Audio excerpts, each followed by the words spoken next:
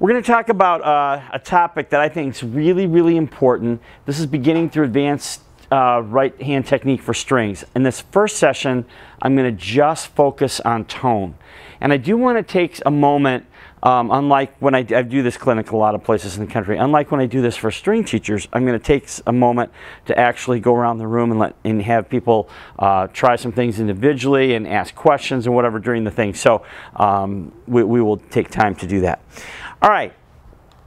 Here is the tone problem. What you have there is a bass player, and you can see what the cartoon looks like. He goes, I think you'll talk now, boss. Oh, yeah, I know that. Everybody starts to talk during a bass solo. Well, you don't want people to talk during the bass solo. You want it to be so beautiful that they are actually going to not want to talk. So, setting up a beautiful tone from the beginning. This is an elementary problem.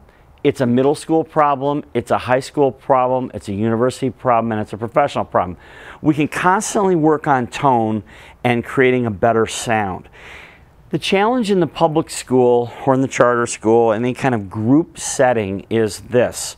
You get kids with a variety of experiences um, in terms of how they approach tone. The problem is they have a variety of experiences in how they approach tone. Most people, most teachers do not teach this prescriptively.